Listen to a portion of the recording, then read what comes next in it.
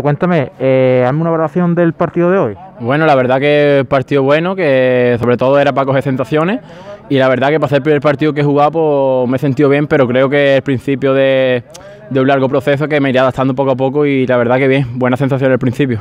Ha sido tu debut con el Laurino y la primera vez que juegas con tus compañeros, ¿cómo te has sentido en el terreno de juego? Bien, pues eso, pues la verdad que era el debut aquí en mi pueblo, un privilegio para mí y bueno, eso, al principio pues un poco, un poco a ver con los compañeros, a ver cómo iba el partido y los minutos y poco a poco me sentí con más confianza y con más ganas de balón y asociarme con mis compañeros.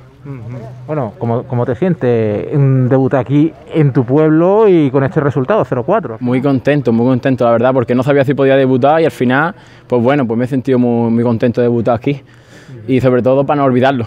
Muy bien, muchas gracias. Nada, gracias a ti.